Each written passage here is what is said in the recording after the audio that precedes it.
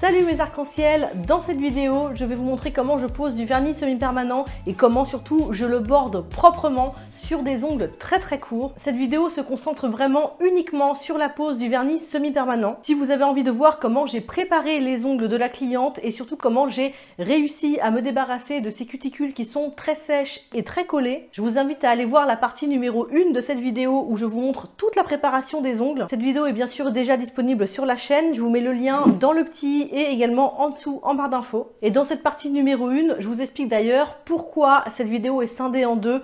C'est une petite anecdote, mais je trouve de toute façon que c'est plus clair pour vous d'avoir vraiment la préparation de l'ongle et des cuticules d'un côté et la pose du semi-permanent de l'autre. Donc c'est parti pour rentrer dans le vif du sujet, juste après le jingle.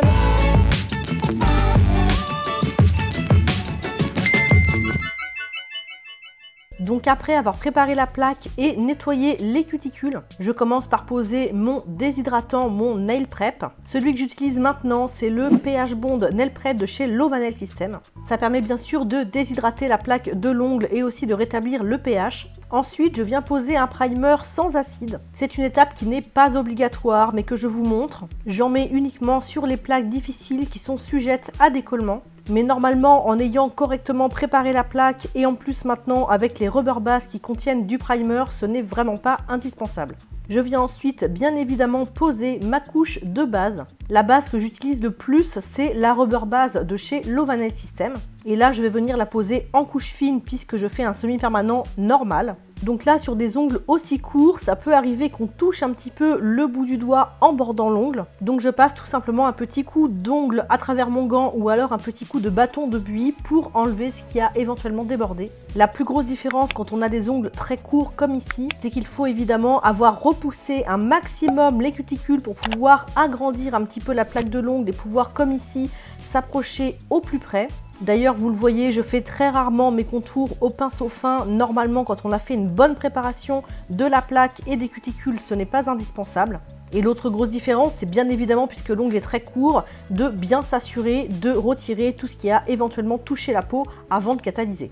Pour arriver à m'approcher aussi proche des cuticules sans les toucher, je vais vous montrer les gestes que je fais. Avec mon pouce de la main gauche, la main qui tient le doigt, je vais tirer la peau au niveau de l'éponicium. Ça va permettre de bien dégager le repli pour pouvoir approcher son pinceau au plus proche des cuticules. Pareil sur les côtés, là ce n'est pas forcément nécessaire avec cette cliente, mais s'il y a besoin, vous pouvez tirer avec votre main gauche des deux côtés du doigt pour bien dégager les replis et pouvoir approcher le vernis au plus proche de la peau.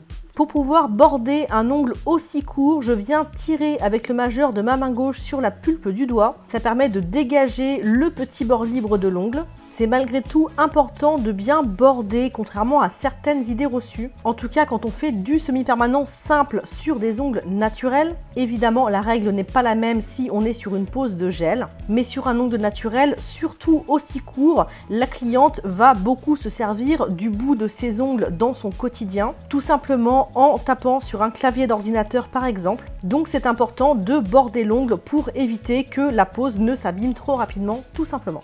Évidemment, il ne s'agit pas de créer un petit bourrelet de matière au bout de l'ongle qui ne serait vraiment pas joli. Une fois qu'on a bordé son ongle comme je le fais ici en descendant un petit peu mon pinceau vers moi, je vais relisser l'entièreté de la surface de l'ongle avec quelques petits coups de pinceau. Je vérifie que rien n'a débordé et bien évidemment je catalyse ma base sous l'emplette UV. Ensuite, évidemment, c'est à peu près la même chose pour la pose de couleur que pour la pose de base. Comme je vous ai déjà tout montré avec la base, je vais vous montrer cet ongle-là puisque j'ai fait un dégradé. La cliente a choisi deux magnifiques couleurs qui sont à la fois réflectives et à la fois cat eyes. Donc je pose les deux couleurs côte à côte sur l'ongle et vous voyez que je tourne mon pinceau pour pouvoir m'approcher au plus près des cuticules sans mélanger trop les couleurs.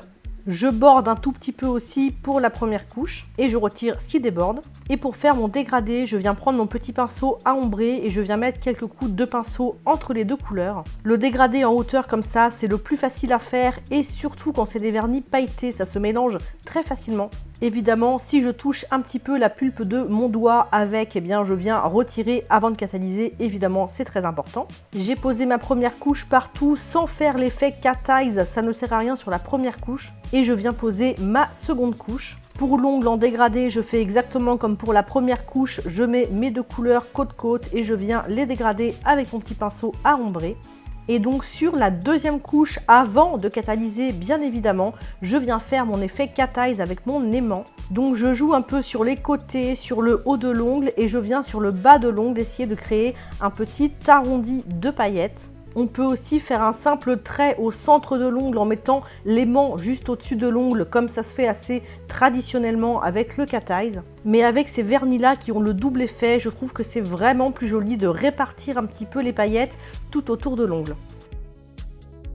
Pour l'ongle qui est en dégradé, bah, c'est exactement la même chose, les paillettes vont interagir de la même manière et je viens répéter les mêmes mouvements pour créer ce petit effet de sourire de paillettes un petit peu au bout de l'ongle. Je trouve ça assez joli.